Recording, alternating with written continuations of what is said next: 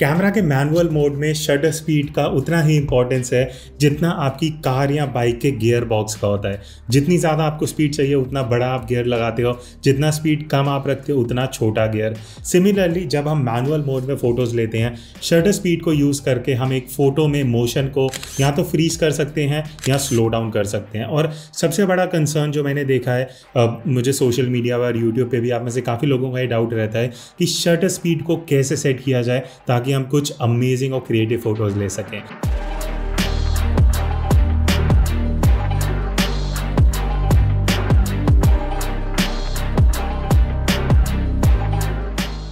अब ये वाली फ़ोटो देखो जो मैंने रिसेंटली इंस्टाग्राम पे डाली थी।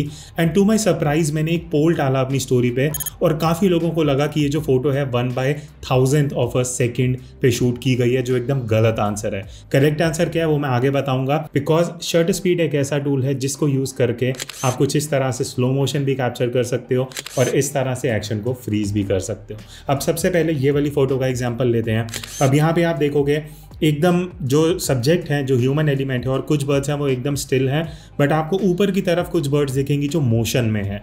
अब इस तरह का अगर आप कुछ कैप्चर करना चाह रहे हो, आपको पहले माइंड में क्लियर होना चाहिए कि जब आप मैनुअल मोड यूज़ कर रहे हो तो आपको सेटिंग्स क्या रखनी है। अब क्योंकि हम सिर्फ़ शटर स्पीड की बात कर रहे हैं तो मैंने क्या करा, मैं इस पर्टिकुलर सिचुएशन में मैंने सोचा कि मैं ऐसा कुछ कैप्चर करता हूँ जहाँ पे बर्ड्स जो है ना, वो हल्की सी मोशन में आए, ताकि जो बाकी लोग क्लिक कर रहे हैं, उससे यूनिक मैं कुछ इमेज निकाल सकूँ। सो यहाँ पे मैंने सेटिंग्स क्या करी सबसे पहले मैंने अपना आई एस डाला। जब भी आप डे टाइम में शूट करते हो ना मैक्सिमम सिचुएशन में ट्राई करो, अपना आई एस रखो।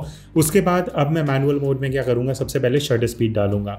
अब यहाँ पे क्योंकि मुझे आइडिया है आई न्यू कि मैं one by twenty of a second की शटर स्पीड से फ़ोटो क्लिक कर सकता हूँ। By the way answer one by twenty of a second था। अब एपर्चर की बारी आती है। आप क्या कर सकते हो? आप अपने सीन की तरफ़ कैमरा रखो। आपका जो एक्सपोजर स्केल है, जहाँ वो आपको सेंटर भी दिखाए, आप वो एपर्चर वैल्यू यूज़ कर सकते हो। इस इमेज के केस में मैंने एफ़ थर्टी टू यूज़ करा था। उसका रीज़न हम कभी और डिस्कस करेंगे जब हम एपर्चर के बारे में बात करेंगे। बट मुझे एक्सपोजर लाना था one by twenty of a second के हिसाब से ताकि मेरा जो मोशन है वो थोड़ा सा मोशन में आ सके। तो इस वजह से हमने ये सेटिंग डाली।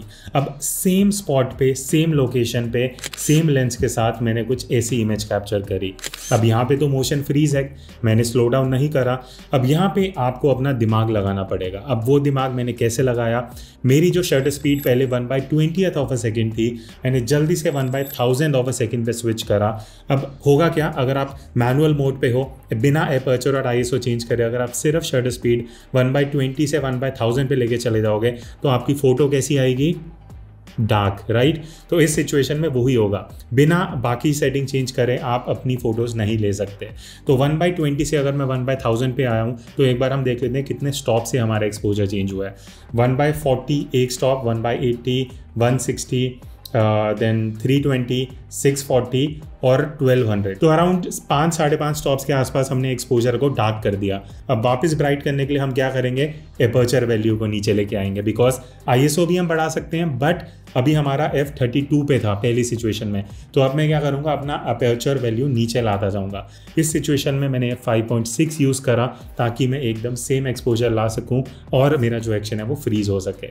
सो आई होप यहाँ तक आपको समझ आएगा कि मैनुअल मोड का जो आपका तरीका है यूज़ करने का वो कैसे रहता है। अगर आपकी प्रायोरिटी शटर स्पीड है तो आप पहले शटर स्पीड चेंज करोगे, उसके बाद एक्सपोजर को सही रखते हुए अपना एपर्चर या आई बैलेंस कर सकते हो। अब ये वाली फ़ोटो का एग्ज़ाम्पल लेते हैं। ये पैनिंग फोटोग्राफी है, मैंने इसका डेडिकेटेड वीडियो बनाया था, वो आप मेरे चैनल पर देख सकते हो।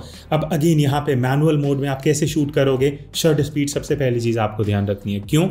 यहाँ पे हमारा अपर्चर का इतना मेन रोल नहीं है। हमें बैकग्राउंड में मोशन दिखाना है सब्जेक्ट को फ्रीज करना है और सब्जेक्ट को फ्रीज या मोशन में करने का क्या तरीका है? शटर स्पीड तो आप क्या करोगे? सबसे पहले दिन का टाइम है आईएसओ आप थोड़ा ब्राइट रख सकते हो बट मैंने यहाँ पे आई एस यूज़ करा था क्योंकि शाम का टाइम था।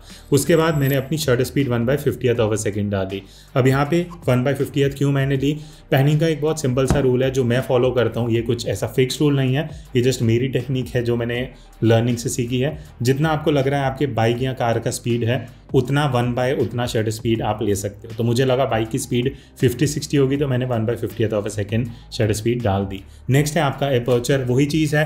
आप एक कैश शॉट लेके देख सकते हो यहाँ एक्सपोजर स्केल देख लो जहाँ आपको सेंटर पे दिख रहा है उतना अपर्चर वैल्यू डाल के आप फ़ोटो क्लिक कर सकते हो।